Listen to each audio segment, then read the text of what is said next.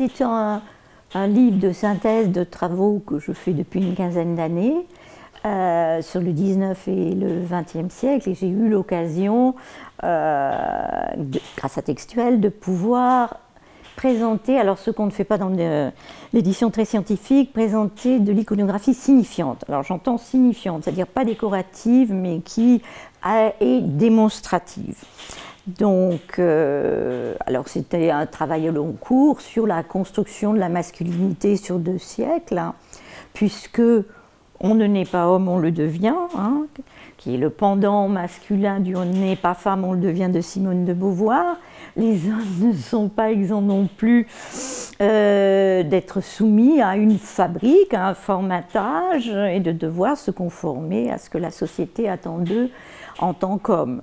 Donc j'ai étudié l'éducation des garçons jusqu'à ce qu'ils arrivent à l'âge de se marier, euh, d'entamer une carrière, et ce depuis leur toute petite enfance, depuis qu'ils sont bébés, puisque les bébés euh, euh, sont quand même nommés, et en les nommant, on leur donne leur sexe, et rien que le nom informe un petit peu de l'attitude de la société à leur égard.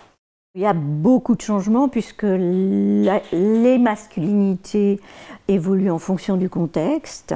Donc euh, la masculinité est changeante. Elle évolue d'ailleurs aussi en fonction du milieu. À un moment donné, euh, ce qu'on demande aux garçons, aux petits paysans ou aux petits bourgeois, ce n'est pas tout à fait la même chose. Euh, donc il y a de très profondes évolutions parce que tout a changé hein, depuis deux siècles, l'économie, euh, la culture, la politique, l'éducation. Surtout l'éducation, la scolarisation s'est considérablement allongée avec des effets importants sur la construction de la masculinité. Et on est donc passé d'une masculinité euh, dans une société qui est une société très violente dans le premier 19e jusque vers les années 1860-70 euh, une masculinité très violente, très agressive, où on inculquait aux garçons à défendre leur honneur, à montrer leur courage, euh, à montrer leur courage en engageant leur corps, en se battant, etc., à une masculinité beaucoup plus civilisée, à partir du moment où d'abord, autour des années 1870-80, la société est moins violente, d'une façon générale, où les enfants sont scolarisés et l'école qui les maintient en classe euh, entre 6 et 13 ans, c'est beaucoup quand même, euh, les calme, les domestiques, les oblige à être disciplinés, studieux, etc.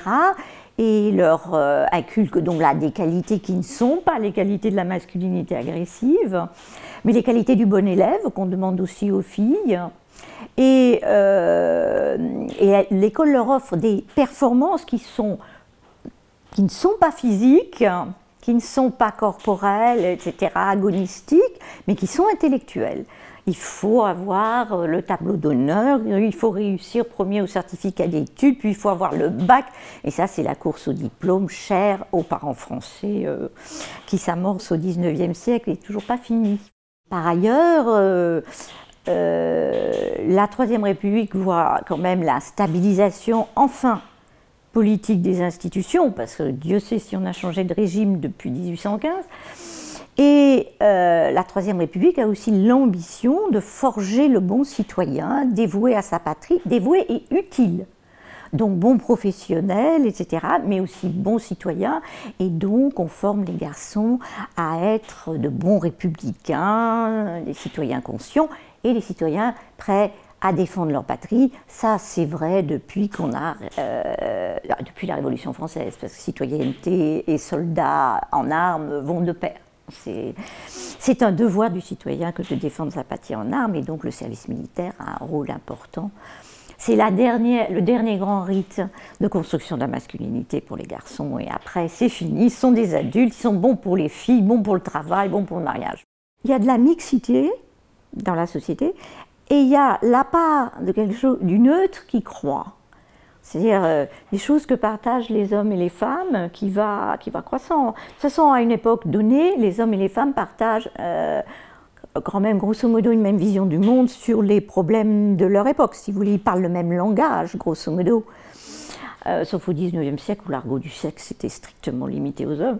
Mais enfin, ils parlent le même langage, utilisent les mêmes mots. Donc ils ont beaucoup de choses en commun, c'est en grosso modo ce que j'appellerais le neutre. euh, la part de l'unisexe, du neutre progresse. Il n'y a qu'à voir même dans les apparences comment euh, vêtements unisexes ont progressé, je dirais, depuis les années 60. Hein, vous voyez ces jeunes à la sortie du lycée sont tous en jean et basket. Bon, filles et garçons, euh, avec des petites différences, mais quand même, il y a une uniformisation des apparences, alors qu'il y a plutôt une masculinisation des filles qu'une féminisation des garçons d'ailleurs. Je pense qu'on est des sociétés où la différence euh, homme-femme a beaucoup reculé. Euh.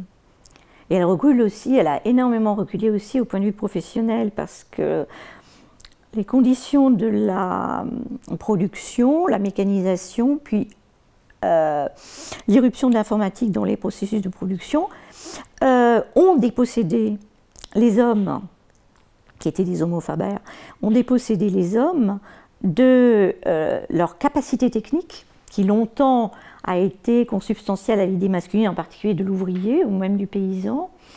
Et, euh, bien maintenant, euh, les hommes n'ont plus du tout, du tout le monde est soumis à la règle des logiciels qui vous fliquent et qui vous dictent votre travail. Et même dans la vie privée, euh, les hommes n'ont plus cette capacité technique qu'ils avaient, ils peuvent plus bricoler leur voiture qui est gérée par un ordinateur et des logiciels, comme on l'a vu, y compris complètement truqués. Donc là, ce sont des choses indépendantes sont des choses indépendantes euh, des relations entre les hommes et les femmes. C'est la technique, parfois, les conditions de production rejaillissent sur l'identité masculine et féminine. Donc c'est tout à fait parfois indépendant de l'idéologie ou voyez, de la volonté des individus.